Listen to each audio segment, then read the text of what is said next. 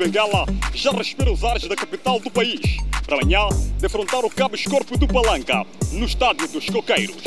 De acordo com a programação do clube, a equipa fará o reconhecimento de relevado quando forem 15 e 30 minutos no estádio dos Coqueiros para o diagnóstico das possíveis dificuldades.